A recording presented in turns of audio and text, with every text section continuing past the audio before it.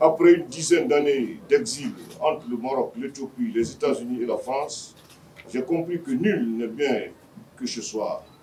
L'entrée donc en Guinée, bien évidemment, est un ouf de soulagement et d'espoir. Pour ce geste ô combien patriotique, permettez-moi d'adresser mes sincères remerciements au président de la République, chef suprême des armées, pour son ouverture d'esprit et son sens élevé de responsabilité. Au cours de ma vie, je me suis toujours consacré à la paix et à la stabilité de notre pays.